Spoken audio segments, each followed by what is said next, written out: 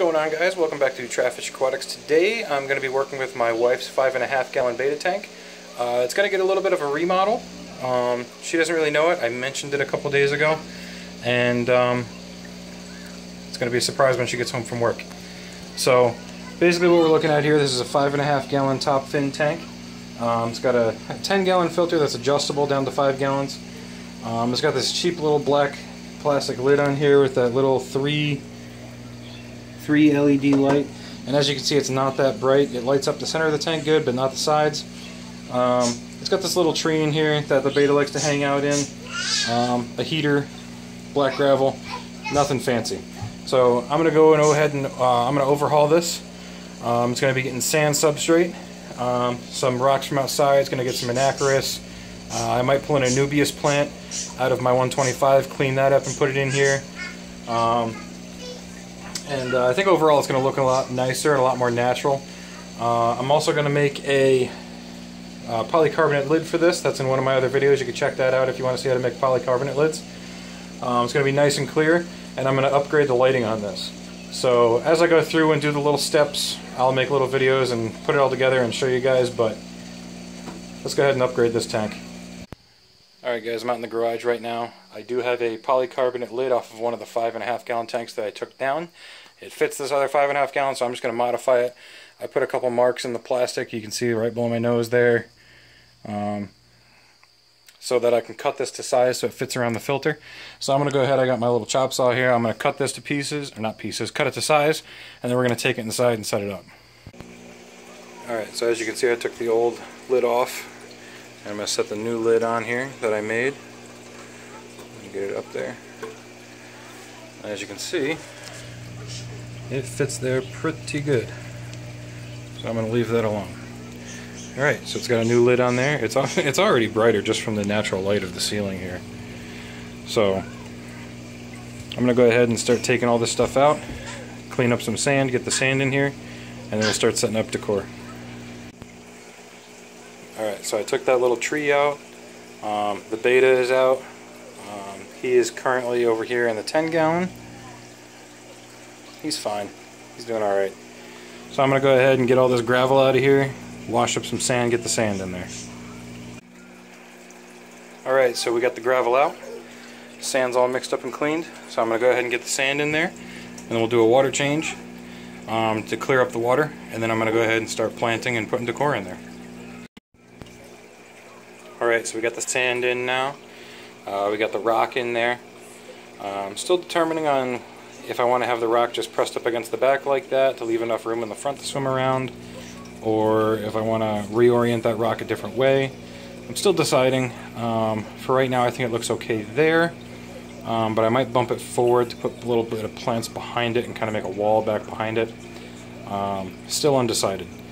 Um, but for right now, uh, I'm going to figure that out.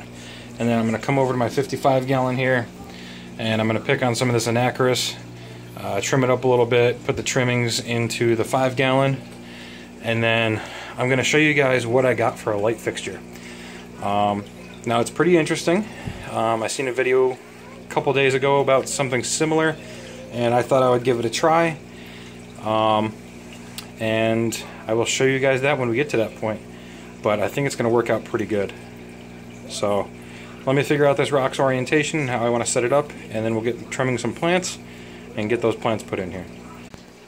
Okay, let's go ahead and get in here and get some of this Anacharis.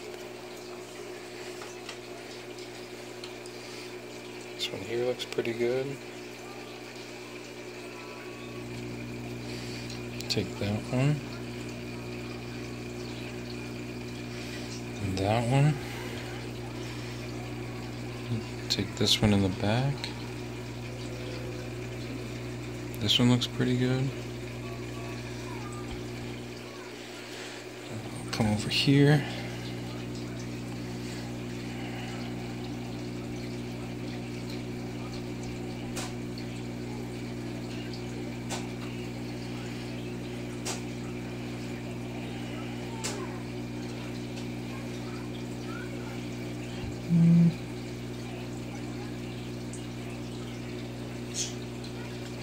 Yeah, we'll try that to start. Okay, so we got it planted up a little bit. Uh, mostly Anacharis, one in a little Anubias plant. Um, I made a ring to lay in the top here out of air tubing, and I've got some duckweed in here for a little bit of nutrient absorption. Um, I know the Anacharis is going to take care of most of it, but I just want to have that in there as a little bit extra. Um, so we're going to go ahead and place the lid in place here. That's nice and good. Alright, now, lighting.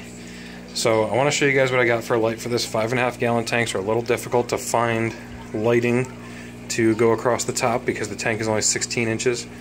Um, the smallest light that I could find was one for a 10 gallon tank like this and I believe this is 18 inches and I don't want to have it overhanging the tank like I do on this 20 gallon over here.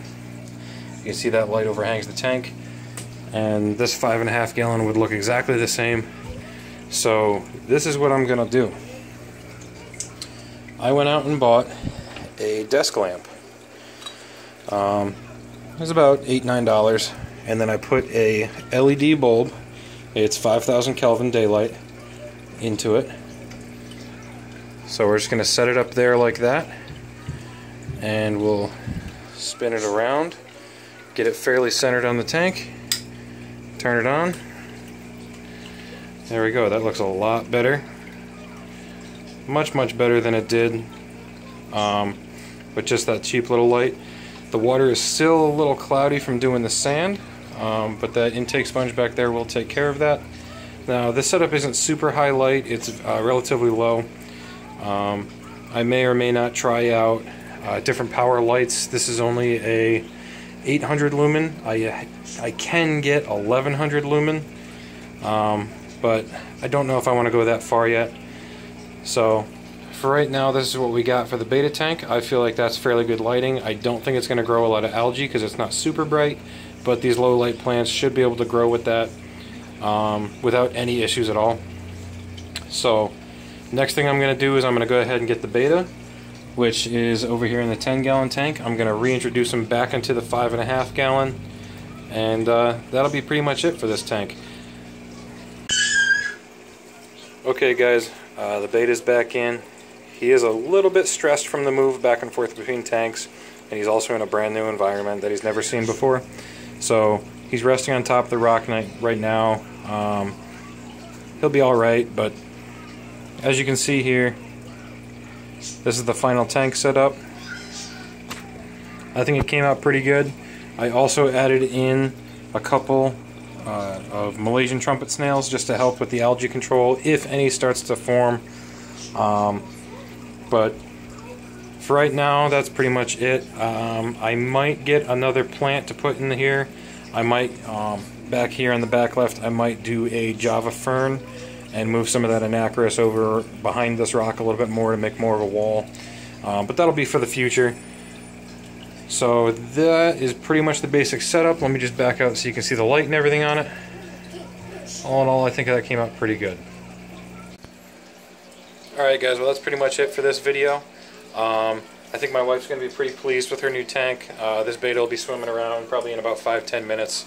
Um, I'm not too worried about it. He's in good conditions. I checked the water quality on everything. Everything's fine.